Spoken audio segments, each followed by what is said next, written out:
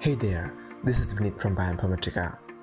In this video, we are going to learn how we can install Ubuntu in our computer both at single boot and dual boot systems in a few simple steps.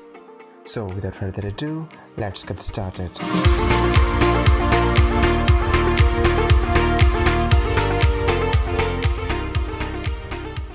Basically, Ubuntu is an open source Linux distribution sponsored and distributed by Canonical.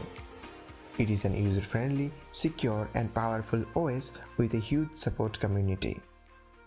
Ubuntu equipped with the latest Linux kernel and drivers which makes it possible to use Ubuntu almost in any device efficiently. Now, let us know how we can easily install Ubuntu in our system. First of all, we will need a flash drive or pen drive to make a bootable drive. Any pen drive of more than 4GB of storage capacity works perfectly. And it is also good to use a USB 3.0 pen drive to minimize the chances of any error. After that, we will also need a computer in which we are going to install the Ubuntu OS. Ubuntu is a very versatile and low resource demanding OS but it works with 2 GHz dual core processor or above, 4 GB or more RAM, and it will also need a 25 GB of storage space.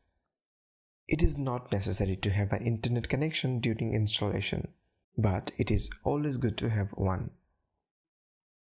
By the way, the installation process works perfectly fine without an internet connection. For creating a bootable flash drive, we need to download two files. The first is the program which will make the pen drive bootable and another one is the Ubuntu ISO file itself. We are going to use a software called Rufus or the reliable USB formatting utility software to make a bootable flash drive. You can find the Google Drive link to the software in the description box below. The second file is the Ubuntu ISO file. These ISO files are provided by Canonical. Ubuntu releases an update in every 6 months and one LTS version in every 2 years. It is wise to install the LTS or the long-term support version for a stable user experience. Most commonly used LTS versions are 16.04, 18.04 and the latest one that is 20.04. You can download the ISO file from the Ubuntu websites a link to which is also provided in the description box below. It is a large file, so it may take some time to download, depending on your internet speed. After the completion of download, we can now create a bootable pen drive. First connect your pen drive into the computer or laptop. It is advised to make a backup of your pen drive data before making it bootable, as the process is going to delete all the data permanently from the pen drive. After connecting the pen drive to the computer, start the Rufus program that you have downloaded. Grant the permission to modify the pen drive. Make sure that your pen drive name is in the device name. Now, select the ISO file that you have downloaded by clicking in the select button. After selecting the ISO file, hit start and wait for its completion. After completion, close the program and restart your computer. Now we will install Ubuntu in your device from the bootable pen drive that you have just made. For this, we have to go to the boot menu of your device. You can go to the boot menu by pressing specific key in the start screen of the device.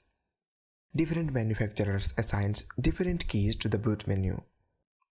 The most common are F9, F10 and F12. Some manufacturers even use F2 and escape keys for the same purpose. In most of the cases, the key is mentioned in the start screen itself. In the boot menu, you can use the navigation or arrow keys to navigate between the options and use enter key to select and escape key to go back. In our case, in the boot menu, we have to select our pen drive for booting. Now Ubuntu should start and you may get a screen like this. From here, select your desired language and hit try or install Ubuntu.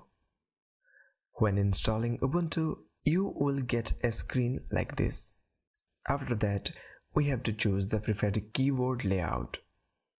Choose your layout and hit continue. After that, in this section, choose the normal installation. Here in this section, if you have a good internet connection, check both download updates and install third-party software options. Otherwise, just uncheck both of these options. It will work perfectly fine. After that, hit continue. Now, here we reach the section where we have to choose whether we want to make our system a single boot that is Ubuntu only or make it dual boot that is Ubuntu alongside a Windows operating system. If you want a dual boot system, use install Ubuntu alongside Windows option. And for single boot, choose erase disk and install Ubuntu option. Then hit install now. It will show a warning. It's okay, just hit continue. Now select your time zone and location and press continue. The final step is to provide name, PC name, username and password. After providing those, just hit continue. It will take some time to complete the installation process. After the completion, you will get a window like this. Hit restart now and it will restart your computer. Remove the bootable pen drive from the computer after restarting. You can format the bootable pen drive to revert it back to the normal state. Hope you have successfully installed Ubuntu in your computer. Please let us know if you face any problem regarding installation. Make sure to like this video and subscribe to our channel. And as always, thanks for watching.